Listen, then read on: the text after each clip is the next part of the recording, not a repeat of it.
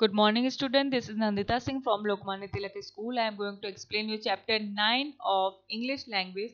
The chapter name is verb tense tenses. इसका first part मैंने आपको पढ़ा दिया था जिसमें मैंने आपको बताया था कि वर्ब क्या होता है वर्ब मीन्स क्रिया किसी भी काम को हम वर्ब कहेंगे वर्ब टेंसेस में के अकॉर्डिंग वर्ब सेंटेंसेस में लगाए जाते हैं जिसमें मैंने आपको बताया था टेंस हमारे तीन प्रकार के होते हैं प्रेजेंट पास्ट फ्यूचर प्रेजेंट आपके तीनों पार्ट्स में वर्ब के तीनों काइंड में अलग अलग तरीके के चार प्रकार होते हैं। Indefinite continuous perfect perfect continuous ये चारों में होते हैं। प्रेजेंट में भी होते हैं पास्ट में भी होते हैं फ्यूचर में भी होते हैं। तो वन बाय वन आप पढ़ेंगे। सिंपल प्रेजेंट में मैंने आपको बताया था कि वर्ब में एस या ई एस लगता है। सिर्फ़ प्रेजेंट टेंस में मैं आपको बता रही हूँ कि प्रेजेंट एंड डेफिनेट में सिंपल प्रेजेंट जिसे हम कहते हैं, उसमें ही शी इट के साथ वर्ब में एस या ई e, एस लगता है। और बाकी सब के साथ एस या ई एस नहीं लगता है। आई वी यू दे के साथ नहीं लगता है।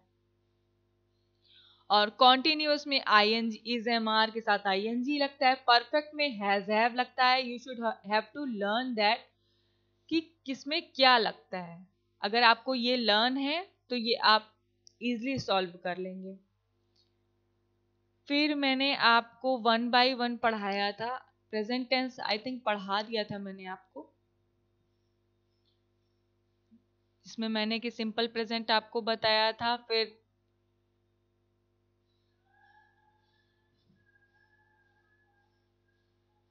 और नॉट निगेटिव सेंटेंस में आपका डज नॉट डू नॉट लगता है। इंटेरोगेटिव में डज और डू लगता है, यानी क्वेश्चन वाले वर्ड में। डज नॉट डू नॉट यानी ही शी इट के साथ does not I we you they के साथ डू नॉट लगता है। ये सेंटेंसेस में मैंने सारे आपको पढ़ा दिया था।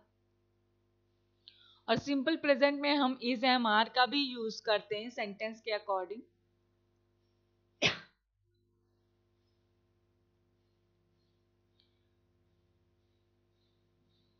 ये एक्सरसाइज भी मैंने करा दी थी। प्रेजेंट कॉन्टिन्यूस मैंने पढ़ा दिया था, आज हम पास कॉन्टिन्यूस में चलेंगे। प्रेजेंट कॉन्टिन्यूस में मैंने आपको बताया था कि इज़ एम आर के साथ वर्ब में आई एन जी लग जाते हैं।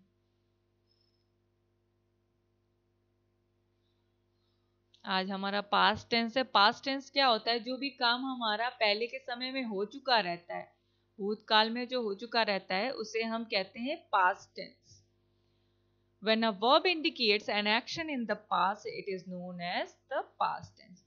The action that is already had happened in past is called past tense.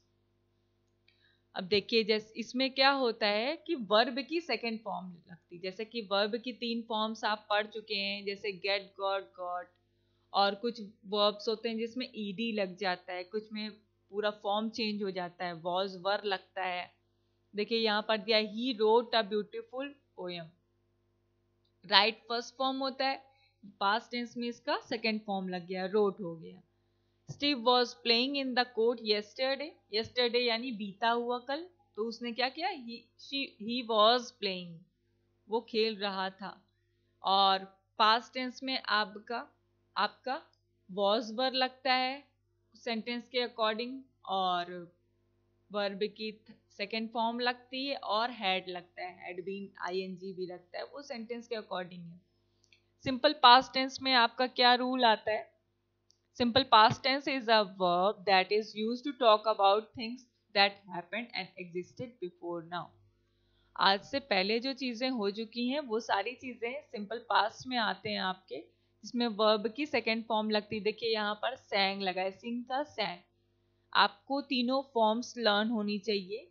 Verb की first second third form usages में इसमें क्या है? To talk about an action और situation event in the past देखिए, यहाँ पर गो का वेंट हो गया। He went to Singapore with his parents last week to show an action completed in the past Maria left the town left आपका leave का left हो गया है। सेकेंड फॉर्म लग गया है। To show a habitual action in the past. I used to play chess here.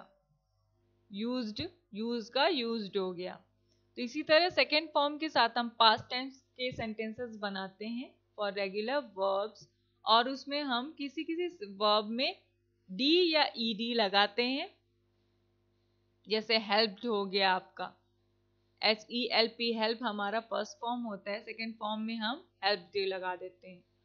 और इस पास्ट टेंस में आपका, मैं आपको शॉर्टली बता देती हूँ पास्ट टेंस में आपका डिड लगता है। इससे प्रेजेंट टेंस में हम डू डज लगा रहे थे तो पास्ट टेंस में आपका डिड लगता है D I D did negative है नॉट लगाना है तो डिड नॉट लगता है, और इंटेरोगेटिव है तो उसी का हेल्पिंग वर्ब यानी डिड आपका पहले आ जाता है।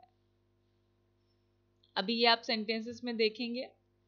Faraz polish his medal polish देखिए ईडी लग गया, ये आपका पास टेंस हो गया। The other winners polish their medals too इसमें भी ईडी लग गया है आपका। इसी तरीके से सेंटेंसेस होंगे। देखिए ई e एक्सरसाइज है।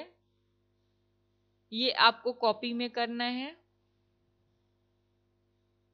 इसमें सेंटेंस के अकॉर्डिंग हमको पास्ट में चेंज करना है। ये एक्सरसाइज आप कॉपी में कर लीजिएगा। जैसे दिया है एज इट इज़ आपको कॉपी में उतारना है। नेक्स्ट है आपका पास्ट कॉन्टिन्यूस पास्ट जैसे प्रेजेंट कॉन्टिन्यूस में हम क्या कर रहे थे? इज़ एम आर के साथ वर्ब में आई एन जी लगा रहे थे। सिंपल इसका यूज़ है कि कॉन्टिन्यूस में आपको आई एन जी ही लगाना है। तो इज़ एम आर के साथ वर्ब में आई एन जी लगा रहे थे तो पास्ट टेंस में क्या होता है? वॉज़ वर हो जाता है। वॉज़ वर के साथ हम वर्ब में आई एन जी लगाते हैं। देखिए, जैसे यहाँ दिया है। Roger was celebrating his victory Roger was singular number के साथ हम वॉज़ लगाएँगे प्लूरल के साथ वर लगाएँगे। W E R E were Roger was celebrating his victory Mary was looking at the stars तो ये पास्ट टेंस शो कर रहा है और ये वॉज़ हो जाएगा सिंगुलर नंबर के साथ।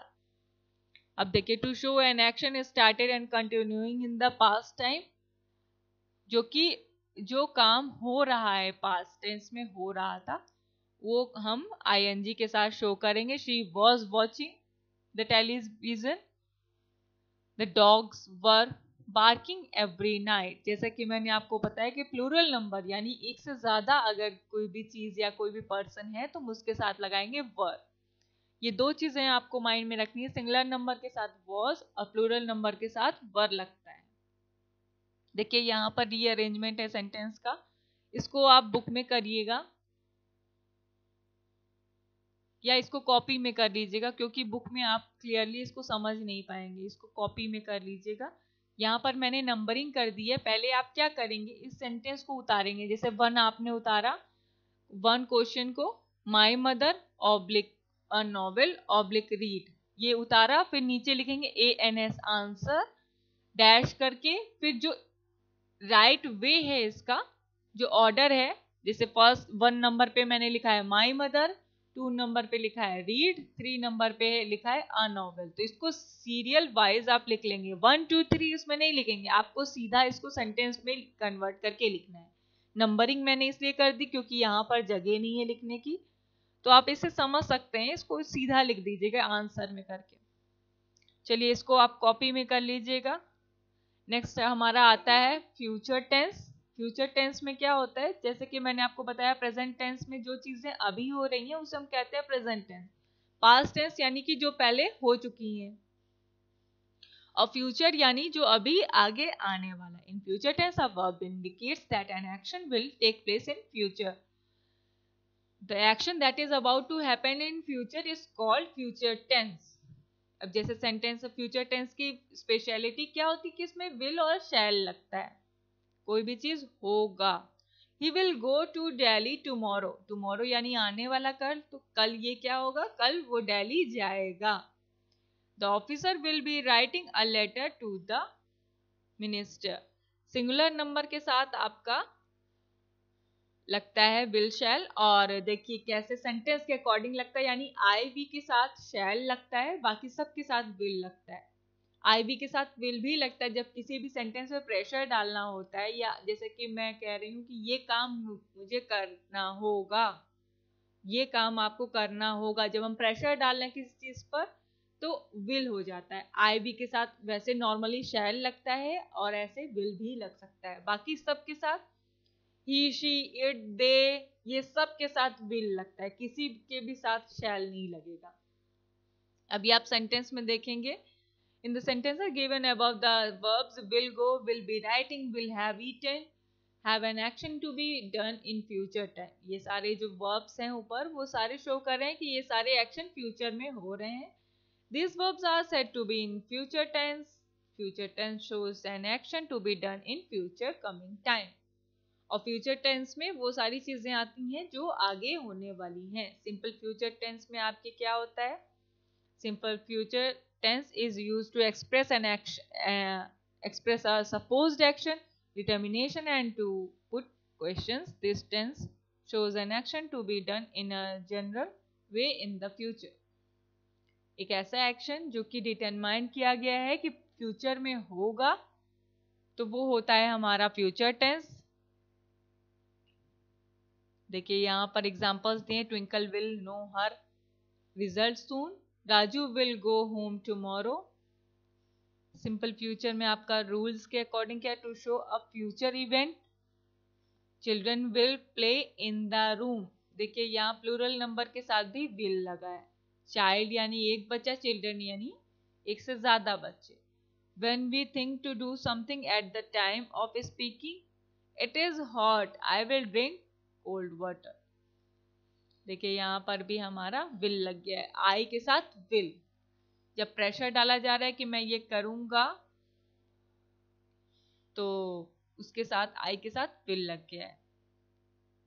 देखिए I will learn a new language Jatin will read that book my brother will sleep till noon you will see what I mean तो ये सब के साथ विल लगा आई वी के साथ शैल भी लगता है, बाकी ऑलमोस्ट आप सबके साथ विल लगता है।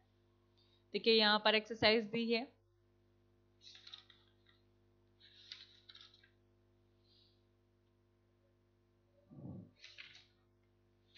ये एक्सरसाइज आप कॉपी में कर लीजिएगा, क्योंकि फ्यूचर टेंस की ये एक ही एक्सरसाइज है, इसको आप कॉपी में कर लीजिएगा।